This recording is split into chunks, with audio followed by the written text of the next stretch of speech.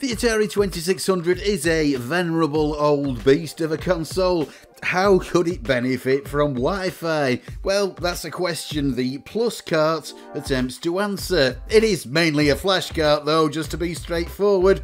It lets you play games you download. Mine came in an attractively minimalist cardboard box and cost me about 40 quid, including shipping. So let's plug this thing in and see what it does. Switching to my 2600 Junior for this, it's got a slightly better picture, and setting it up is fairly easy. You just need to connect it to your Wi-Fi. You can do it manually on the 2600 itself with the joystick, or you can put it into Wi-Fi connect mode and connect another device like your phone and configure it that way on the web server built into the cartridge.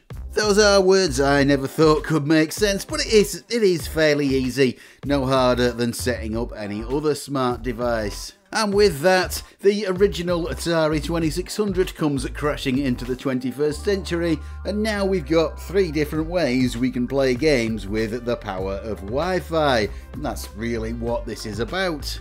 Yep, it's an EverDrive flashcart type deal, but it's got a Wi-Fi module instead of a memory card and you download games that are stored somewhere else. So yes, you can play your own ROM files that you yourself have shared with the device, that's a bit weird. I'll show you how you upload stuff later, but you can play them by selecting them and they're then downloaded onto the cartridge and off you go. Compatibility is really good, basically all the classic 2600 games are supported, even Pitfall 2 which uses a special chip in the cartridge, and the Supercharger games as well which originally came on cassette. I think the only stuff it won't run are some of the fancy modern homebrew games which use the DPC Plus chip, but other than that, it's going to work, and yes, the Amazing Hero runs just fine, and all the other original games from back in the golden era of Atari.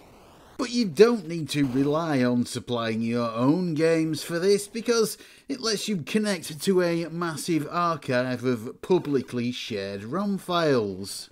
Just another option on the menu, but it makes the idea of uploading your own ROM files almost redundant because here, well, there's basically every Atari 2600 game ever. All the commercial games seem to be here, both the USA NTSC releases and the European PAL ones, plus bootlegs and all the other miscellaneous stuff.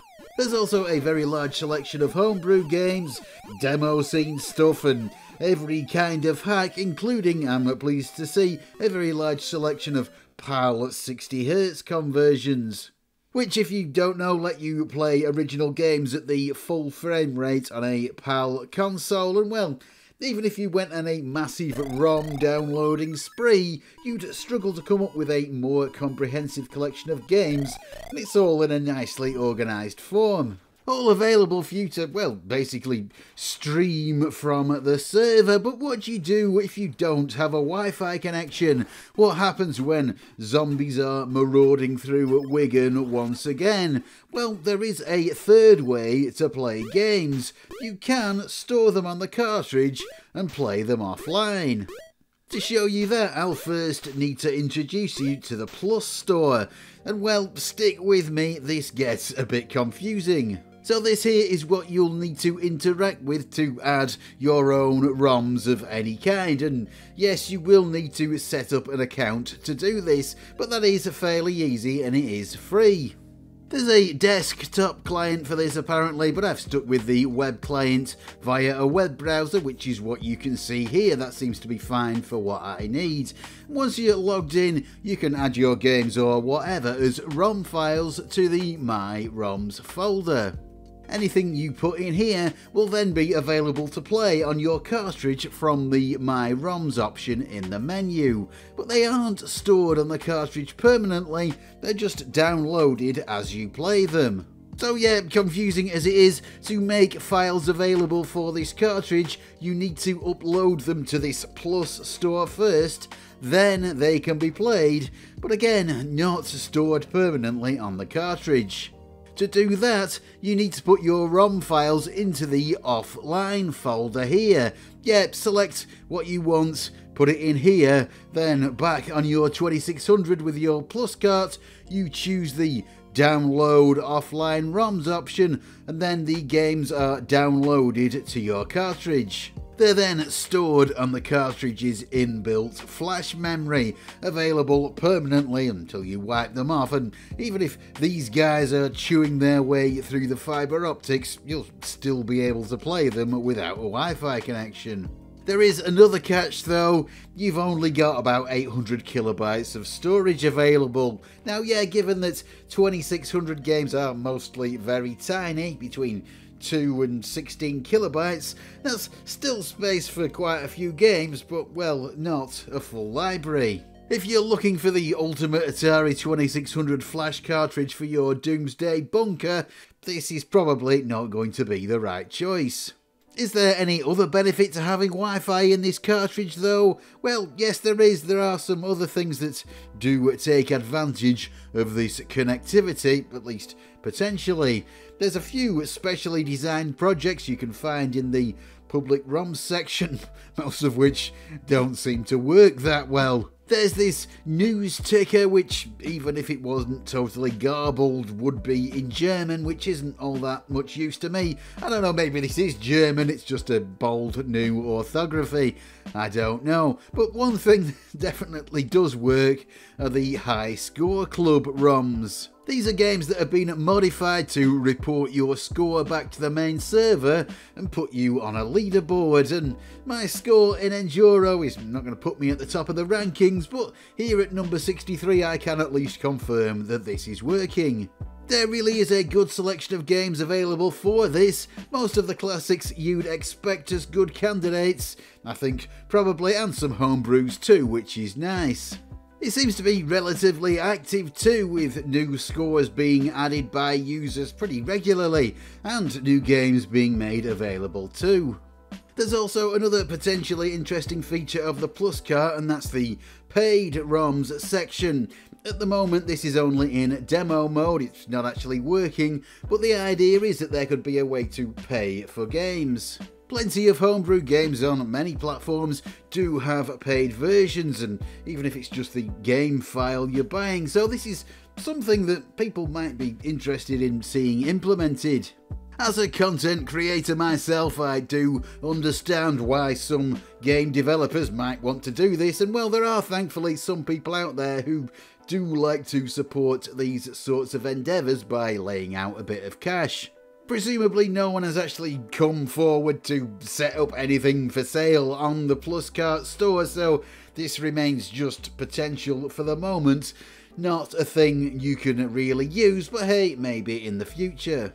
That, I think, covers most of what this thing can do, so now it's probably time to head for some sort of conclusion that overall the Plus cart is well implemented. The menus look good and are fairly easy to navigate, considering the limitations of the home system. Yeah, text really is a problem for the 2600. It's fairly easy to set up and the Wi-Fi connection does seem pretty stable, most of the time. The only real problem that I had was if you want to change games, you're supposed to be able to hold right on the joystick and press reset at the same time to get back to the main menu. This doesn't always work though, not in every game, so you have to switch off the power and that seems to throw the connection off too. You don't lose settings, but sometimes you do need to power cycle a few times for the connection to come back up. That's the only usability problem I've had with this, and it's not been a huge issue for me. I've used plenty of other devices that have been more fussy about connectivity over the years. The other main issue that might put you off though is the whole idea of the Plus Store. When I first heard of this Wi-Fi Atari cart, I assumed there would be some way of connecting it to my local network directly somehow, but it turns out there isn't. That's what piqued my interest originally. SD card based flashcarts can be a bit fiddly. Loading them up once in a while is no problem, but doing it often is a bit of a hassle if, like me, you're always trying out new stuff, homebrews, hacks, or whatever. Or if you're developing something, whatever you want to try on the real hardware. I thought this might be a good solution. You could just drag and drop a ROM file into a folder and you can get it running on the actual machine as easily as running it on an emulator.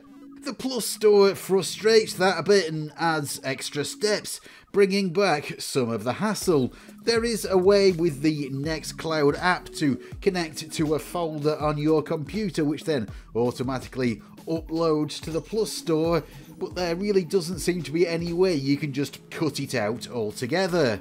Whatever you do with this cartridge, it seems to have to go through a middleman. There isn't a way to keep it completely on your local network. The other problem with the Plus Store is what happens if it goes down temporarily or permanently.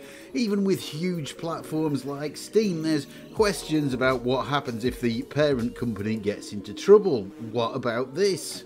With the best will in the world, it's not hard to think of lots of things that could happen to make this device useless. It would also be great if you could just select what you want to store permanently from the cartridge menu as you go through it.